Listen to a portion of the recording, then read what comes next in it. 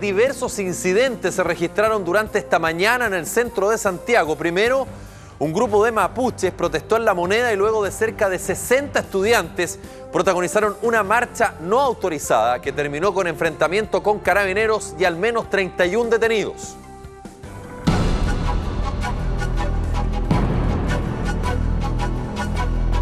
Cuatro mujeres mapuches llegaron hasta el Palacio de la Moneda para protestar a favor de la comunidad Temucuicuy, acusando que han sufrido violencia por parte de carabineros en los operativos que se han realizado en la zona, indicando al presidente Sebastián Piñera como uno de los responsables de las lesiones que han sufrido.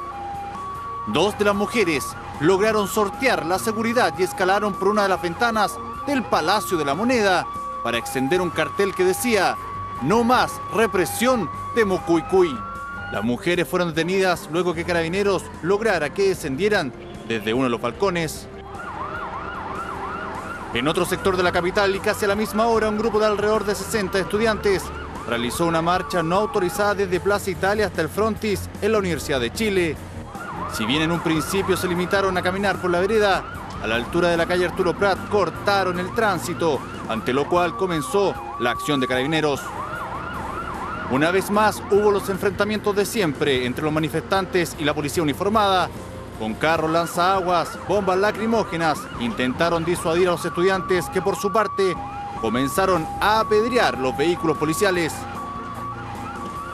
Los incidentes terminaron con 31 personas detenidas.